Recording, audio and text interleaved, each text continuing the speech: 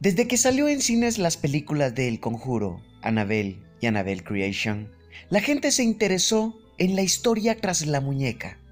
Ya es conocido que el director James Wan rediseñó la imagen de la misma para darle un aire más inquietante. En la vida real, se sabe que esta es una muñeca Raggedy Ann, la cual existe desde el año de 1918 basada en una serie de libros para niños. La verdadera Annabelle se encuentra guardada en una vitrina ubicada en el Museo de los Warren, propiedad de los ya conocidos investigadores. Por lo tanto, la pregunta es si Annabelle en realidad está poseída.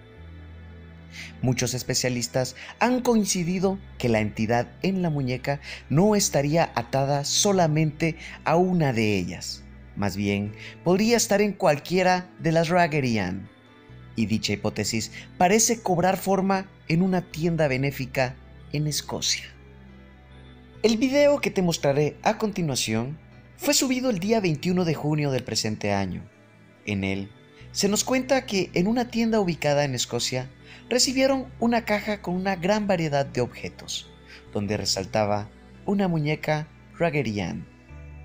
Al momento de sacarla, la colocaron en el suelo, donde se dieron cuenta que al dejar la muñeca sola, ésta cambiaba de posición. Sumado a esto, todas las personas que tenían un contacto físico con ella enfermaban de formas misteriosas. Los dueños, preocupados por el asunto, decidieron colocar la muñeca en un lugar donde una cámara podría filmarla. Y fue ahí donde las sospechas se hicieron visibles.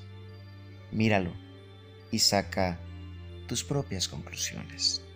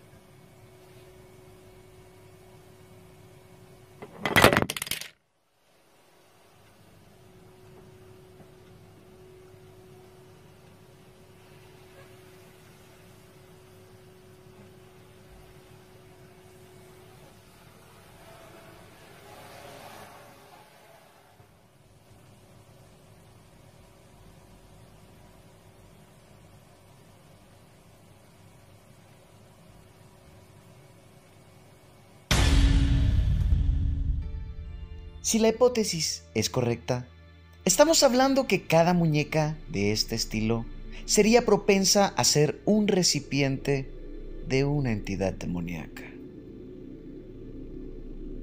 El tema que escuchaste a lo largo de este video fue creado por Dean Barley.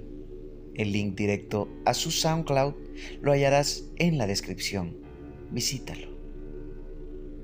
Muchísimas gracias por tomarte el tiempo de ver este video. Yo soy el Julio López.